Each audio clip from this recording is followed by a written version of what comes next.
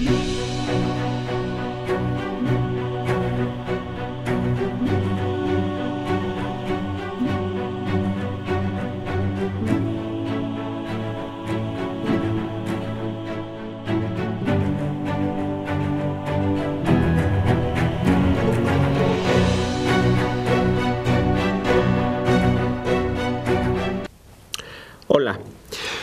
Pues bueno, han iniciado ya los foros de consulta para la construcción del Plan Nacional de Desarrollo, este instrumento que tiene que construir, que tiene que elaborar cada gobierno, cada en su mandato sexenal, al inicio de su mandato sexenal, cada gobierno federal,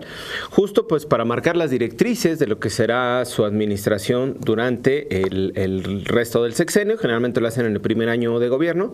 y ahora no es la excepción, cumpliendo con el mandato constitucional y legal, el gobierno de Andrés Manuel López Obrador ha iniciado ya estos procesos. Ha concluido una parte de, un proceso interno, primero en la Administración Pública Federal, para ir elaborando estas directrices y ahora estas, eh, estas líneas generales se están presentando a diversos foros de consulta a lo largo y ancho de todo el país. Eh, sin lugar a dudas, está llamando la atención la mecánica en la que se están desarrollando estos foros de consulta, particularmente por dos variables que me parece importante compartir en este espacio. Primero,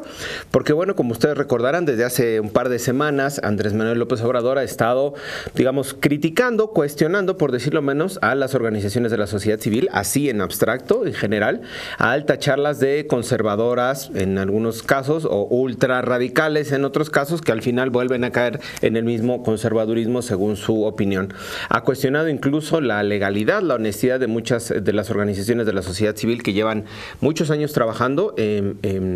por el bien de México, trabajando con grupos en condiciones de vulnerabilidad, trabajando en la defensa de los derechos humanos, en la defensa, en la denuncia incluso de casos de violaciones a los derechos humanos, pero digamos más allá de la posición personal que pueda tener el presidente de la República, que es respetable, si no concuerda con el trabajo que se hace desde la sociedad civil, pues es muy válido que pueda disentir, que pueda tener diferencias, pero en ese mismo discurso, en esa misma línea, digamos, se ha abierto al interior de la propia Administración Pública Federal y en el Congreso de la Unión diversas eh, vertientes, diversas eh, canales para llamar y convocar a las organizaciones de la sociedad civil a que ayuden a construir el Plan Nacional de Desarrollo. Es decir, se está manteniendo un doble discurso, insisto, independientemente de la posición que pueda tener el presidente a nivel personal, que esa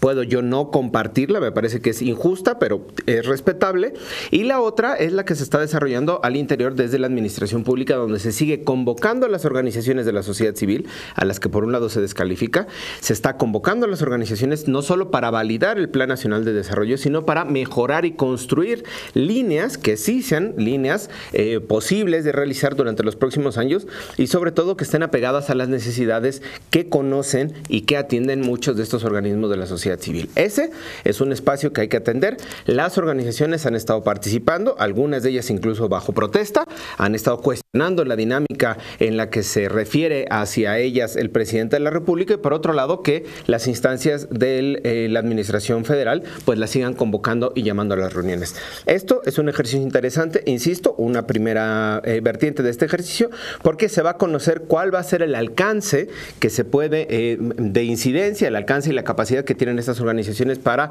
influir en la construcción del Plan Nacional de Desarrollo y sobre todo cuál va a ser la capacidad de escucha de las autoridades del gobierno federal. El segundo, la segunda vertiente en este mismo conjunto del proceso de consulta al Plan Nacional de Desarrollo lo abre algunas consultas especiales voy a entrecomillar especiales que se están realizando, que se están convocando en municipios y comunidades indígenas. Es decir, paralelamente a la consulta que se está desarrollando entre instancias de gobierno y organizaciones de la sociedad civil, se están desarrollando estas otras, entre comillas, insisto, consultas paralelas que tienen un carácter de revestimiento o un acercamiento a una consulta indígena, sin serlo, que no son consultas ordinarias como las que se están desarrollando con organizaciones de la sociedad civil y que están creando descontento, inconformidad en algunas comunidades y en algunas organizaciones indígenas a las que están siendo convocadas. Hay que tener puesta la atención en estos dos procesos, insisto, en tanto en los de administración federal con organizaciones como en las que se van a desarrollar en los próximos días y en las próximas semanas en comunidades indígenas. No son consultas indígenas, son un híbrido de estas consultas. Veamos cómo va a ser el resultado e insisto, veamos sobre todo cuál va a ser la capacidad de incidir en esta propuesta del Plan Nacional de Desarrollo.